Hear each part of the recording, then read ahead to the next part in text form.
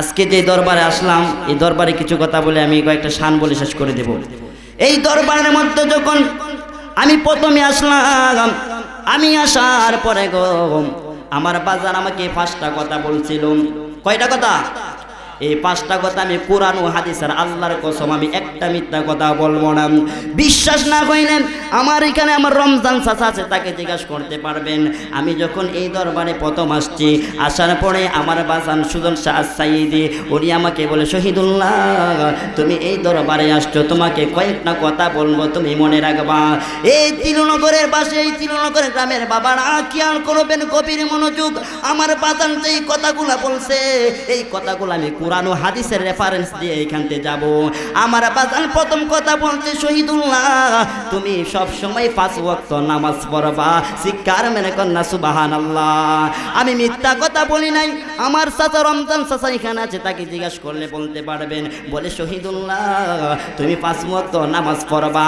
আর আমার আল্লাহ এই নামাজের কথা কোরআনের মধ্যে একবার, দুইবার বলে না আমার আল্লাহ এই কোরআনের মধ্যে এই নামাজের কথা বিরাশি জায়গায় বলেছে, শিক্ষার বারে কন্যা সুবাহান আল্লাহ শুধু তাই না তাই না, আল্লাহ রসুল ফরমান মাং তো আমি মুতাআম্মিদান ফাকাদ কাফার। যেই ব্যক্তি ইচ্ছাকৃতভাবে নামাজ ছেড়ে দিবা গো, সে যেন কুফরি করল, নাউজুবিল্লাহ কিছুরে কইতেন না।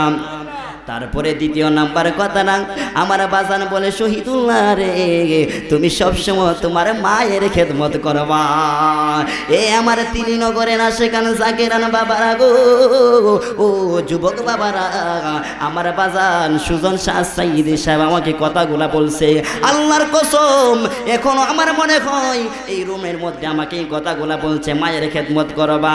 আহারে, মায়ের খেদমত করা, নামাজ যেরকম ফরজ গো, রোজা যেরকম ফরজ, হজ করা যেরকম ফরজ পিতা মাতার খেদমত করা তেরকম ফরজ, কথা বলেন ঠিক কিনা? হে আমার বাবা জিরা গো পিতা মাতার খেদমত যদি না করেন গো, হাজার বার হজ করতে পারবেন, হাজার বার মদিরা যাইতে পারবেন, হাজার বার অনেক কিছু করতে পারবেন, কোনো কাজে আসবে না, কথা বলেন ঠিক কিনা?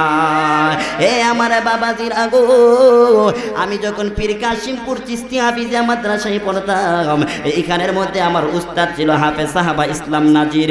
উনি যখন দিনের বেলা ঘুমাইতেছেন, এমন সময় একটা মহিলা দৌড়ায় আসছে, আসার পরে হাউ মাউ করে কানতেছে কান্দার পরে আমি মনে করছি, এই মহিলাটা পাগল, আমিও দৌড়ায় বাইরেছে, দরজা কইলাম ওই সময় মহিলাটা কান্দা কান্দা কয়, ও হুজুর ও হুজুর গো, আমার সন্তানটার জন্য দোয়া কইরেন। এমন সময় আমি ছিলাম সামনে, আমি বললাম, কেন গো, আমি এই মহিলাটা বৃদ্ধ ছিল। আমি বললাম, দাদি, কেন? ওই মহিলাটা ডাক দিয়ে কই বাজানে রে, আমার উস্তাদকে বলতেছে, ও বাজান, আমার সন্তানটা হঠাৎ কইরা জানে কি হইছে? আমার সন্তানটা বুকের মধ্যে ব্যথা হইছে আমার সন্তানটা কথা বলতে পারে না। আমার সন্তানটাকে কুমিল্লা হসপিটালে নিয়ে গেছে। ও বাজানে রে, আমার সন্তানটার জন্য এই মাদ্রাসার ছাত্রদেরকে নিয়ে খাস কইরা দোয়া কইরো। এই কথা বলে মহিলাটা কানতেছে আপনারাই বলেন, ওই সময় তার স্ত্রী বাড়িতে ছিল, ওই সময় তার সন্তান বাড়িতে ছিল। দুনিয়ার কোনো মানুষ তো কোনো মসজিদে যায় না দুনিয়ার কোনো মানুষ তো কোনো মাজারেও যায় না কিন্তু ওই মহিলাটা সন্তানের টানে, দুনিয়ার কোনো জায়গায় মহিলাটা চিন্তা করল, কারও কাছে যাইলে আমার সন্তানকে ভালো করতে পারব না।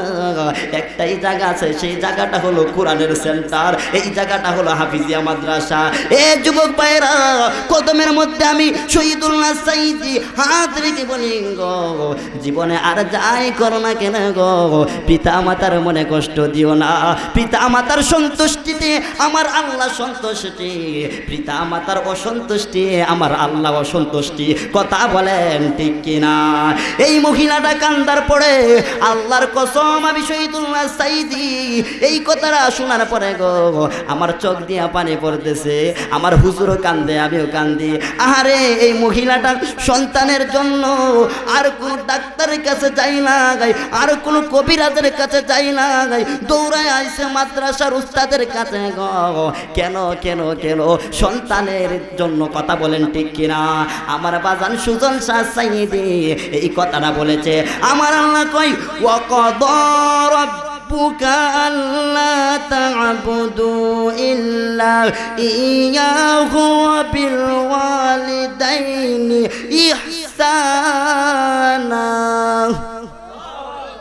আমার আল্লাহ কই তোমরা একমাত্র আমার ইবাদত করো এবং পিতা মাতার প্রতি তোমরা সৎ ব্যবহার করো সৎ আচরণ করো শিক্ষার মেরে কন্যা সুবাহান আল্লাহ আমার বাজান আমাকে ওই কথাটা বলেছে তৃতীয় নম্বর কথা আমার বাজান কয় ও শহীদুল্লাহ তুমি সব সময় কম কথা বলবা।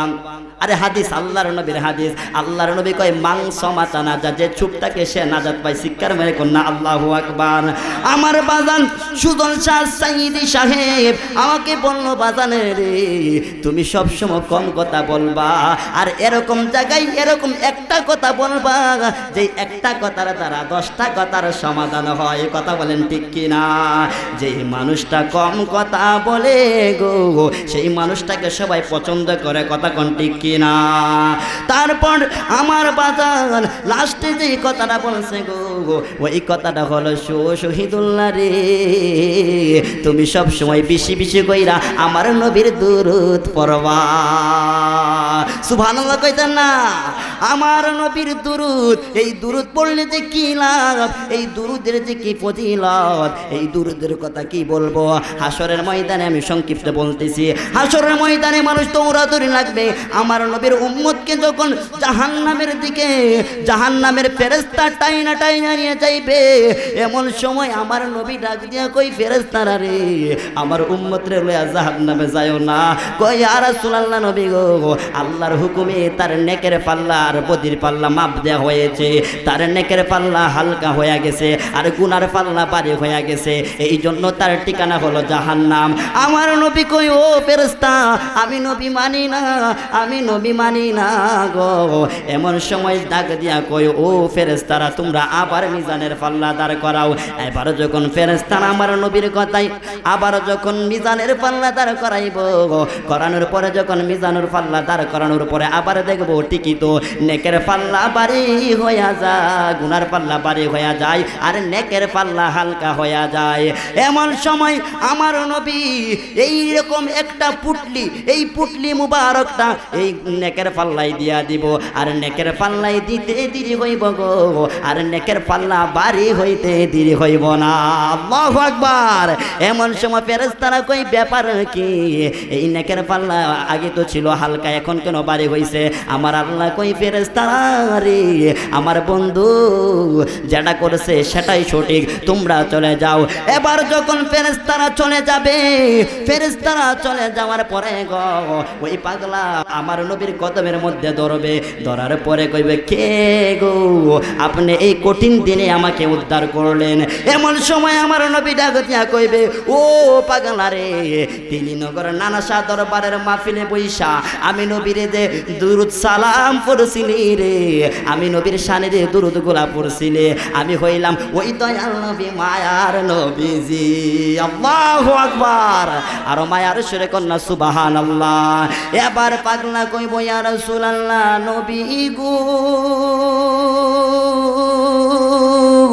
ও মায়ার নবী, দয়ার নবী, আমার একটা কথা জানতে খুব ইচ্ছা করে। কই কি কথা? কই আর সুলাল্লাহ নবী গো, এই পুটলির মধ্যে এরকম কি জিনিস ছিল? যেই জিনিসগুলা দেওয়ার কারণে আমার নেকের পাল্লা বাড়ি হয়ে গেছে।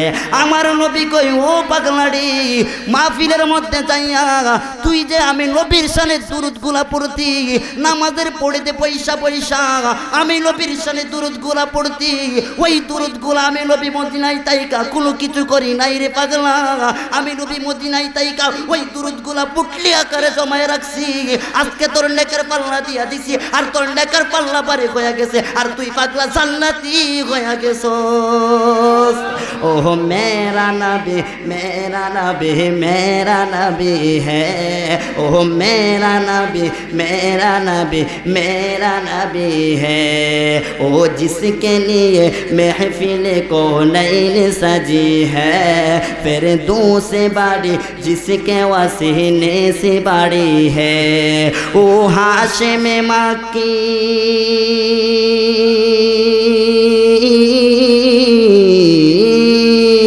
ओ हाशिम मकी मदानी उल भी है।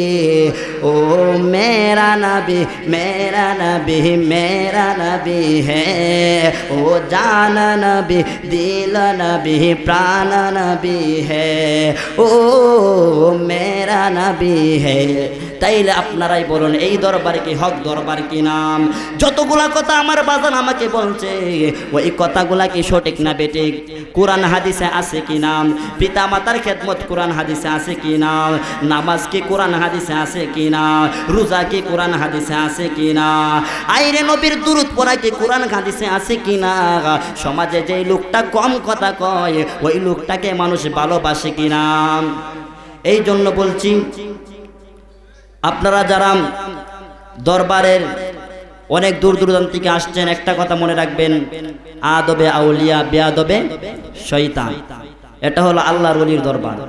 আল্লাহর অলিদের কোনো ভয় নাই, কোনো চিন্তা নেই, আমার আল্লাহ কয়, আলা ইন্না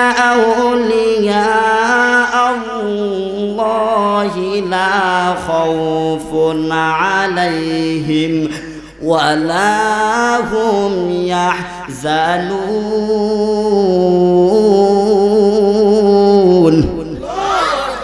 আল্লাহর ওলিদের কোনো ভয় নাই, আল্লাহর ওলিদের কোনো চিন্তা নাই, তাদের ইহকালেও কোনো ভয় নাই, তাদের পরকালেও কোনো ভয় নাই, কথা বলেন ঠিক কিনা? এই জন্য আমি বলেছি, আমরা আল্লাহর অলি নানা সার চরণতলে গড় বেঁধেছি। কত আশা স্বপ্ন নিয়ে বসে রয়েছি। কথা বলেন ঠিক কিনা? আল্লাহর ওলি রুসিল আমরা চাই কি চাই না? আমার আল্লাহ কুরআনুল কারীমের মধ্যে বলেন, বিসমিল্লাহির রহমানির রহিম। ইয়া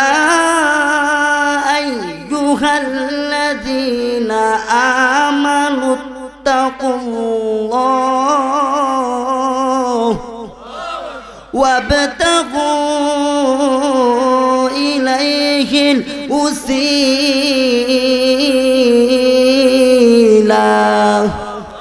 ঘোষণাকার আমার আল্লাহ কইয়া আইয়ুহাল্লাযীনা আমানু হে ঈমানদারেরা ইত্তাকুল্লাহ তোমরা আল্লাহকে ভয় করো ওয়াবতাগু ইলাইহিল উসিলা তোমরা উসিলা তালাশ করো কথা বলেন ঠিক কিনা